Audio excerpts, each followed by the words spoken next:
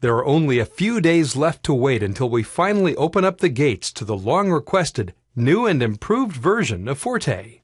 The new version of Forte contains numerous improvements and has been optimized even more to suit your needs. I hope you're just as excited about the new features as we are.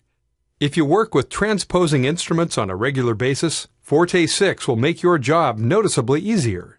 Forte 6 now fully supports transposing instruments. A wide range of transposing instruments has been added for selection inside the score wizard. In addition to the trumpet in B flat or the flute in E sharp, you'll find a wide variety of new exotic instruments such as the crumhorn. If you find that an instrument is missing from the list, you can simply add it on your own by using the Manage List option. Inside that window, you can adjust and customize all parameters for your instrument. If you've created your own instrument, it becomes visible to you in your list of instruments and a little asterisk is added to it. These instruments can be edited and deleted anytime. You can also customize instrument presets. These will then be available as new instruments inside the wizard. In our example, we added two transposing instruments, in addition to the flute in C.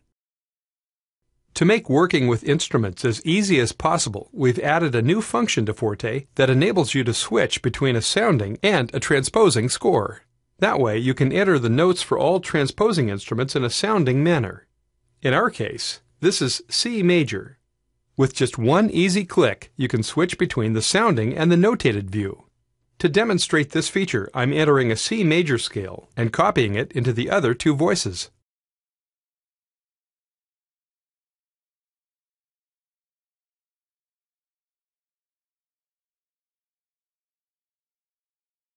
With one click, you can now convert this sounding notation into the correctly notated version. To celebrate the launch of our new software, we're giving out copies of Forte 6 at highly discounted prices. So if you've been thinking about purchasing your own version of Forte or upgrading your existing software package to Home or Premium, this is the week to do it. Go check out our website in the coming days for full details.